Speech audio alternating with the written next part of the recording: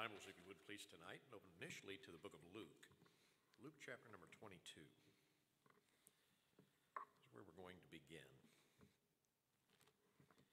One of the last covenants that we're going to look at is going to be uh, the, the main one that uh, you and I would recognize as the New Testament or the New Covenant. Luke chapter number 22. I will just uh, review very briefly and very quickly. Uh, the very first covenant that we looked at, of course, was the Noahic covenant. Uh, was the covenant. Of course, it was to all mankind. It was unconditional. It was through the person of Noah. And uh, part of the reason why the covenant was made is because mankind was, their thoughts were evil continually. And uh, God made a promise that uh, after the events that had taken place, and we may uh, just kind of glance at those things even this evening. Uh, the, but there is going to be no global destruction with, uh, with water. The, he, put a, uh, he made a promise, and that promise is verified and assured to us through the rainbow that he puts in the sky. And uh, so that has been appearing now for over 6,000 years because God is going to keep his promise, and he will. He always does that. And uh, that was the, the first one. It was to all mankind. The, the Abrahamic covenant uh, happened to be a little bit more towards the Hebrew people, and uh, it was uh, promising uh, Abraham, of course, a land, a nation, and that he would be a blessing to all mankind, and uh, begin to start the process, if you would, of, uh, of the Messiah. Now, the Davidic covenant, the next one that we were looking at, was, was to mankind. And because King David was going to have place. Israel was going to have land and a possession and a nation that was going to be established. Uh, God's throne was going to be uh, established through that, through David, because he uses the term forever in first in 2 Samuel chapter number 7 in more than one occasion.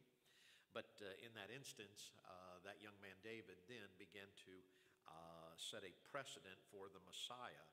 And a great deal of the Davidic covenant has to deal a great deal with more uh, with some of the Messiah that was going to be coming in our Lord Jesus, that was coming through that, uh, through that bloodline that he made a promise of. The very last one that we're going to be looking at, of course, deals with all of mankind. Anyone that, uh, oh, well, the, as Scripture says, whosoever will. And uh, the, New, uh, the New Testament is the, uh, the last covenant that we'll look at here. Now, there are other covenants that are in Scripture. Don't, don't think that we've covered all of them. The, I have just looked at some of the, the main ones that are in Scripture that a lot of times uh, have a uh, determination as far as how God operates, work with certain people in Scripture. Now, the New Testament, of course, is going to deal with all of mankind and is going to open up what we would understand as the church age, and uh, which would begin a little bit of how that God operates through the local New Testament church and how he uses that to accomplish his will. Now, does that mean that God cannot work in a number of different areas? Of course not. God works all over and he works however he so chooses. But he is determined to, as Jesus said, upon this rock, I will build my church and the gates of hell shall not prevail against it. God uses the local New Testament church uh, to be able to uh, do a number of different things as far as to uh, promote the gospel, to uh, encourage the saints, and to baptize believers, and so on and so forth. And uh, in that manner, but there needed to be something that was going to change from the Old Testament to what we know as the New Testament. Now, we understand very clearly some of the differences that are there. I think it's kind of interesting because even though I've, I've been to uh, Israel now a number of different times, uh, and as you try to converse with the, some of the, the Jewish people that are there, uh, I can remember one time we were getting ready to go down into uh, some of the caverns that uh, there are there in Jerusalem uh, along the Western Wall and different things along those lines. Uh, right there, of course, there's a number of Jewish people and Jewish men that are down there as they're reading and praying and studying and things. And uh, and I I asked one of them, I said, "You're you're going through all these tenets," and I said, "and all the rituals and everything else." I said, "Why are there no more sacrifices?" He looked at me real sharply and he said, They are to come. And I said, Well, when did they stop? And uh, he couldn't give me a definitive answer in that one. And so, uh, and he, he, quickly he wanted to change the subject, not talk about that. Because if they're going to follow the Old Testament and they don't want to recognize the New Testament, then that means the sacrifices should not have stopped. And so, in that manner, the only reason why the sacrifices of the Old Testament stop is because the supreme sacrifice took place. The Lamb of God came, appeared, shed his blood, did what was necessary to atone for your sin and mine. Thereby, you and I can be justified. That means that, and by the way, all of our sin was in the future anyway when Jesus paid them. And uh, that's why when he said, uh, uh, It is finished, he accomplished the task of all of mankind, all the way back to Adam, all the way to the last person that will ever be born and uh, would ever need a Savior. And so, uh, because that's how that's how precious and pure the blood, the blood of the Lord Jesus is and was. And so, uh, but we want to look at some of the, the, the precepts, if you would, what was necessary for this new covenant. So we look here at Luke chapter number 22. I guess I better get there, shouldn't I? And look, if you would, please, in verse number 20. Luke chapter number 22 and verse number 20. The Bible says, likewise also the cup after supper, saying, as the Lord Jesus is talking now to his disciples, this is the event where they're at what we call the Last Supper. And uh, this is the statement that he makes This cup is the New Testament in my blood. Now, in that instance, he is making it very clear that there is an instance where a sacrifice or blood was going to need to be shed. So, as he is making that, uh, uh, that uh, if you would, that statement, just as when we take the Lord's Supper, of course, uh, we take the, the, the, the, bread, the unleavened bread that is there, and uh, leaven is a picture of corruption. That's why uh, the, the little thing uh, is not uh, a loaf bread, if you want to put it like that.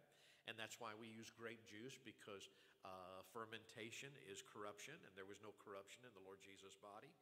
And so when he says this, this cup is the New Testament in my blood, which is shed for you. What he is making it very clear is he is, he is authenticating what is going to be known as the New Testament or the New Covenant, but it has to deal with blood because this instance is not simply a promise of words, it is a promise in blood. And thereby there was necessary because that is what began a long time ago to be necessary for a covering of sin. Now, in that instance, what Jesus does for you and I is he takes care of our sin. We cannot. We are unworthy. We're unable. We are uh, uh, incapable of taking care of our own sin. That's why we needed a Savior. And that's all of mankind individually. It's not a group thing, it is something that each individual has to put their own faith and trust in the Lord Jesus Christ personally themselves. I can't do it for anybody else. No one could do it for me. It had to be that, uh, now, for me, I, I, you've heard my testimony. I grew up in church. I'd heard the gospel from a very, very young age, and I think that's a very positive thing. But uh, the clarification came when I had to understand what I was doing and my need. It wasn't the fact that mom and dad were going to heaven and mom and dad went to church and they knew they were saved. It was the fact that I needed to make sure that I was saved. And uh, when I was asked if I knew for sure that I was on my way to heaven, I, of course, stumbled because I just didn't, I didn't know. Had I heard the gospel? Sure. But in that instance, I needed to make sure that I was willing to surrender my will and what I thought could get me to heaven. Most of, most of the world's religions today evaluate where if my good will outweigh my bad, I'll get to go to heaven. The only problem is that's, that's the devil's lie.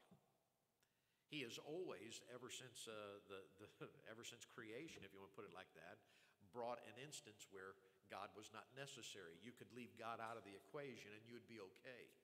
It does not work like that. It will not work like that, and it cannot work like that. Because without the shedding of blood, there is no remission. Since that's the case, we need to see that clearly. Take your Bible, if you would please, and turn over to Hebrews chapter number 9. Hebrews chapter number 9 kind of interesting. I remember Dr. Carpenter when he was teaching through the book of Hebrews, and uh, Brother Gordon Carpenter. He uh, now he's been in heaven now for a number of years, but it, but the statement that he made when we began to study Hebrews, he said the book of Hebrews was written to the Hebrew people to tell them to stop being so Hebrew. And uh, but Hebrews chapter number nine.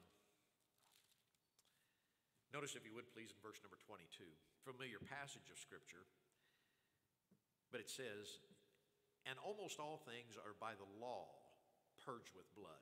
Now, notice he mentions the law here because there's a, a, possession in the Old Testament that is being somewhat revealed. He says, So the law is purged with blood, and without shedding of blood is no remission. So, in other words, he is making it very clear that there has to be a blood element if, if a sacrifice is going to be made and if sin is going to be atoned. And so, uh, uh, now, this entire chapter is a very interesting chapter, and we'll be turning back to it at some point. But uh, because he is dealing with the fact of that Old Testament sacrifice was no longer valid when the Lord Jesus came and shed his blood and they're dealing with that. And, and uh, of course, the writer of Hebrews is making somewhat of those, those very uh, claims in the beginning of the chapter and, and all through that.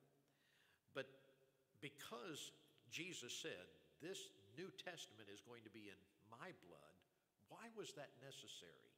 So let's look at the necessity of that blood covenant, that sacrifice that was going to be made, And that means we have to go all the way back. As the law was stated here, we get to go all the way back to the very beginning. So take your Bible and turn to Genesis. Genesis chapter number 3. Genesis chapter number 3.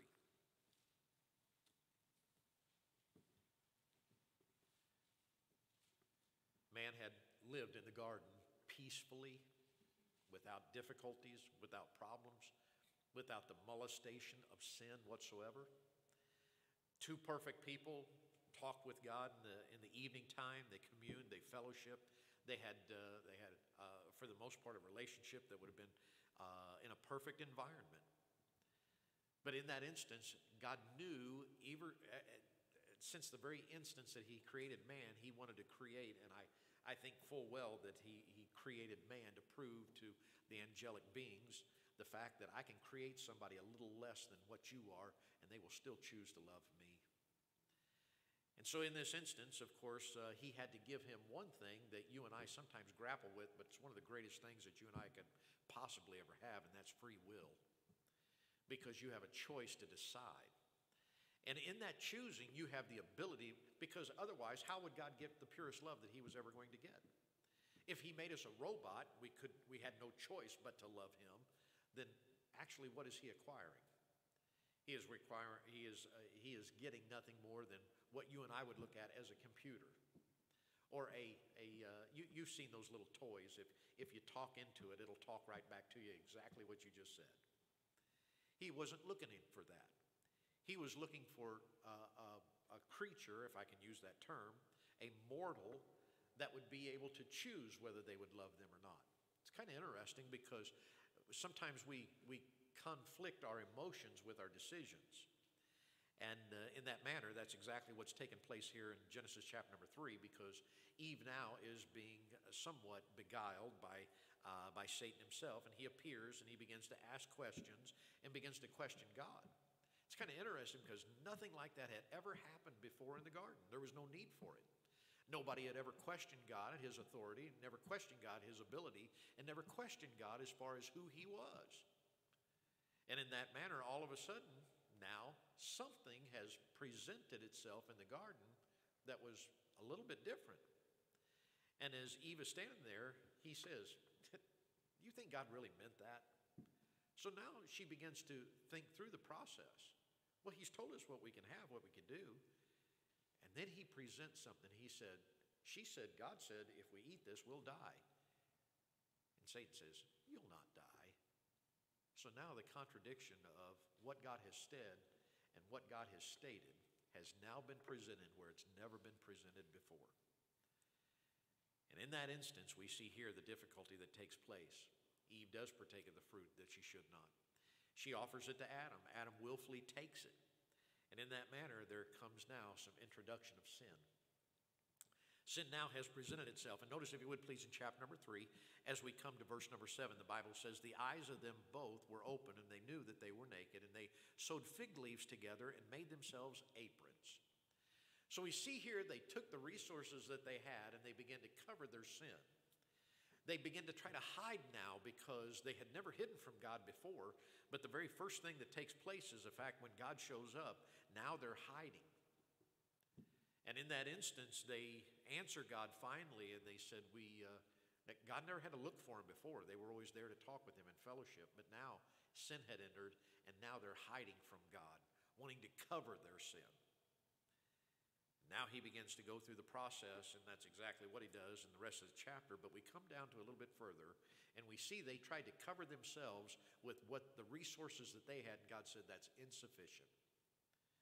So notice when we come to verse number 20, chapter number 3 and verse number 20, the Bible says, And Adam called his wife's name Eve because she was the mother of all living. And then it goes on to say in verse number 21, by the way, that word living talks about a never dying soul. Verse 21 Unto Adam also and to his wife did the Lord make coats of skin and clothed them. God had to take an animal, sacrifice it, allow that blood to be shed so that it could cover the sin of mankind. So at the very first sin showed up, there had to be somewhat of a sacrifice so that man's sin could be covered. Now, does it completely remove it? No, it does not. But there is in the Old Testament what we know as the word atonement. We'll look at that here in just a little bit. That atonement is to say this there is a sacrifice that has been made for those sins uh, during that particular year in that instance. And uh, because of that, I will recognize that as now the payment for that. Now, in the Old Testament, they had to look towards a, uh, a righteous atonement. That's why the law has been presented, and they were instructed to follow that, and God gave them particular tenets to follow in order to, uh, I'll use the word appease, until the supreme sacrifice, the Lord Jesus, would come and pay the, the ultimate sacrifice. By the way, that's the same thing that you and I have to do. Now, if we were still living in the Old Testament times, we would have to, after a certain period of time, make sacrifice. And we, we are very sanitized right now because we don't see the actual.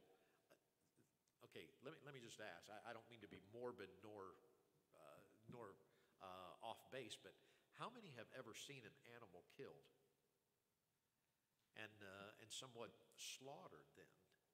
It's not pretty. It's not. And if, you, if you've never seen it before, it's kind of it's kind of troubling when you first do. And uh, when you first see it, I mean, at one minute the animal is alive, the next minute whatever has taken place, and now they're not. And they're not going to come back. It's not like a video game where you get another chance. It doesn't work like that. And uh, if, if you've been, ever been involved with some of those things where the bigger uh, cattle and hogs and things like that, it's a unique smell in and all of itself.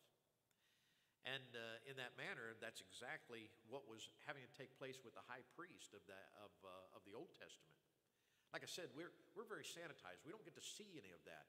I, I think, honestly, if we could have seen the, the sacrifice that our Lord Jesus, and I, I don't know that I ever really want to see it, that it, it troubles me and bothers me greatly that, that humans could bring such, uh, I, I, I don't even know what, just uh, just inhumane treatment to another human being, but the Lord Jesus did it for you and me. And in that manner, we see here that man's sin needed to be covered sufficiently. And Jesus said, uh, well, God, in this particular instance, made it very clear that your own abilities and your own resources are, are incapable of covering your sin. There has to be blood that is shed. And that's exactly what took place so that sin could now be covered. Now, let's go on just a little bit further because this is the first time that death really has appeared a great deal in the uh, Old Testament that we have read about. We've heard about it, they've talked about it, but now it has taken place.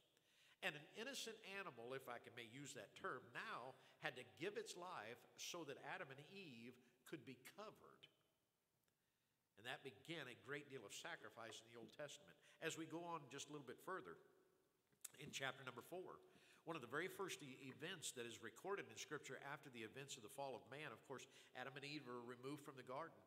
and they are removed from that, and now they are still instructed to uh, replenish the earth. And so in chapter number four, we begin with this. And Adam knew Eve, his wife, and she conceived and bare Cain and said, I have gotten a man from the Lord. And she again bare his brother Abel, and Abel was a keeper of sheep, but Cain was a tiller of the ground. And in process of time, it came to pass that Cain brought of the fruit of the ground an offering unto the Lord. Now, here are the events, the first time that we see this word offering presented to us here in the Old Testament. Why in the world would this offering be brought to God? Why in the world would something be brought to him as somewhat of a offering? So we see as it comes here, as we go just a little bit further, verse number four, and Abel he also brought of the firstling of, the, of his flock and of the fat thereof, and the Lord had respect unto Abel and to his offering. Now these offerings are brought to God. The question is, why would that be necessary or why was it a compelling thing to do that? The reason being is this mankind realizes and has even recognized himself here that God is a deity and is divine and is still willing to deal with mankind. And because he is still willing to deal with mankind, and we cannot acquire the same perfection that we had at one point because of and I'll just use the term that we, it's not, it's, it's, it's, it's used a great deal in the Old Testament, although it's not spoken and taught a great deal as far as uh, that thing, but it is grace. Because God could have annihilated them right there, and He did not. He killed another animal to cover their sin. They realized something had to die for me because now I am sinful and I have done something I should not have done. And God, because you are holy, I am bringing an offering to you. Now, there's a number of other aspects to that as far as why God had respect to one and one, uh, why another. Uh, there's been a, a multitude of, of teaching on those things. Personally, myself, as I read through this, I see that the offering that is made is because it is coming to God recognizing who He is in the intensity of not just a resource, but something that has a living quality to it. And the sacrifice that was being brought to him means that I am willing to take away something that could be very valuable in that particular instance and offer as, as a blood sacrifice for this instance. Now, because of that, the atonement was now being introduced, an offering to someone who is without sin. And in that manner, we see here that two things are taking place. One, the fact man must be willing to do that. Two, God will receive some of those things. And in that, we see just, as I said, I'm not covering all of what could be taught, a lot more theology right here. We're just looking at the fact that now offerings and sacrifices are made to God because man has recognized that he is sinful. Man recognizes that it is through God's grace that we are not annihilated. It is through his mercy that he allows us to present ourselves to him. And in this manner, we see here that there is a life that is given for life for the most part. So that innocent life had to be given so I could have life and a covering for this. Now, as we go on just a little bit further, the offering uh, is being made here.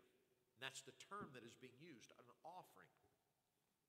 One of the first times that we see an altar being presented is in Genesis chapter number 8. So if you would please take your Bible and turn over to chapter number 8.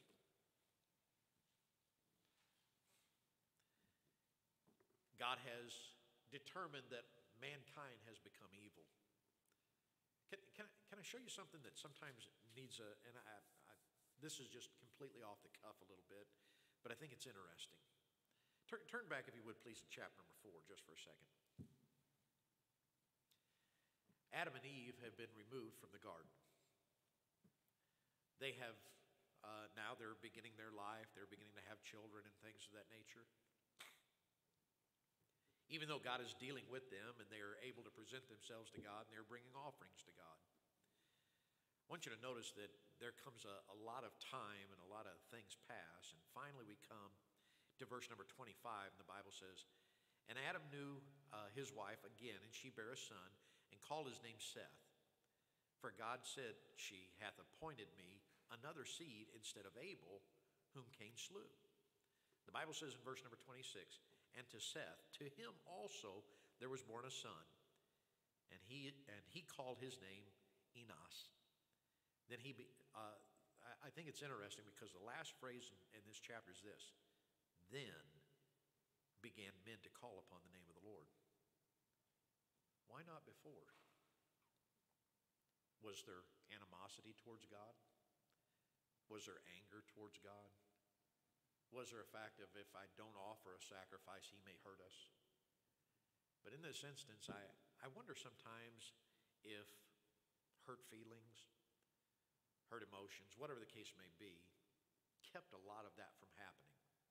Until finally, generations down, then all of a sudden there came this individual, Enos. The Bible says, then began men to call upon the name of the Lord. I think it's kind of interesting that uh, that time frame that is there and the statement that is being made. Has sacrifices been given? Yes. Has offerings been made? Yes. But I wonder sometimes why we do what we do. You recognize, are, are you afraid that God's always going to throttle us, punish us, do something bad to us? I know the verse that says, The eyes of the Lord are in every place, beholding the evil and the good. You know, He wants to focus in on the good a great deal more than He does the evil. By the way, your sins are forgiven. When you and I do wrong, it goes on Jesus' account, it doesn't go on our account. He looks at us as righteous without sin whatsoever. That's how we can only be presented to God anyway. But it's through the blood of the Lord Jesus Christ, and that's how efficacious it was and how authentic it was for your sake and mine. But God is wanting to see the good that we have, and so He is willing to look and evaluate that. And so when we finally come over here, that uh, men, men's thoughts were evil continually, Scripture says. And there was only a few people that would have, recognized God for the most part. And there came a point where the Scripture says that God was going to destroy mankind. But Noah found grace in the eyes of the Lord. Now that's interesting because grace has always been available, it's always been there, it's always been a commodity that man could have. But here we see that Noah found it because he was looking for it. And in that manner, we see that God chose to use Noah to spare those. After the events took place, Noah and the, the flood has taken place. Uh, finally, the ark begins to, to rest now, and the flood is receding. And notice what happens in chapter number eight, because Noah was instructed to bring certain animals onto the, uh, onto the ark, some of them two by two, but others he brought in more. The reason being is this he brought in more because there was going to be a need for a sacrifice. Chapter number eight, when we come down to verse number. Uh, it says in verse number 19, just to get every beast, every creeping thing, and every fowl, and whatsoever creepeth upon the earth, after their kind, went forth out of the ark. Verse number 20 says this And Noah builded an altar unto the Lord. This is one of the very first times that we see the term altar being used. The whole purpose of an altar is this to recognize God as God, because a sacrifice is going to be made. So, in this fact is the fact that now someone, a life is going to be given in recognition for God, thank you for your grace. Thank you for being what is necessary for me. This is a major part of the new covenant, the New Testament, because Jesus was going to have to do what was necessary as it began in the Old Testament. This blood covenant, not just a word promise, not just a promise. Now, God's going to keep his word, he will for all of eternity. But he said, Not only am I going to make it with words, which are extremely powerful, he said, I, I, created the entire universe with my words. I will defeat Satan with my words. I will do anything that is necessary with my words. But I want you to show, I want to show you how, uh, how serious I am, and I will present blood in this manner. And in this, uh, that's exactly what begins to take place. So we see in the Old Testament how the importance that a blood testimony and a blood sacrifice in that manner to connect with things. Now, we're going to end here for this evening because in Exodus, because then we're going to need to go to Exodus chapter number 29 and begin to look at atonement. That term that is being used that says blood now is going to be the payment for the sin that has been presented. And God begins to give that recognition during that time, which is necessary for the new covenant to be explained. All right, let's all stand. We'll have a word of prayer and we'll be dismissed this evening. Thank you again for being uh, at the Bible study. Please don't forget to pray for Brother Ken. If you get an opportunity to stop by, uh, you're welcome to do that. Miss Shirley has, uh, has said that anybody is welcome to come and uh, to visit for any length of time that they could. I'm going to go during lunch. That's when I'm going to go. But, no, but uh, in that, uh, if you if you get an opportunity, because only the Lord knows how long uh, Brother Ken may uh, still be with us. But uh, nonetheless, please just pray for him that the Lord's will be done. All right, let's have a word of prayer. Father, thank you again for the opportunity to be in your house. Thank you again for your word. Thank you for the truth in it. I do ask that you'd please give us clarity, understanding, and Lord, deliverance sometimes when it's necessary. Thank you again for all that you do. And Lord, thank you for our church. We ask now for your help in Jesus' name. Amen.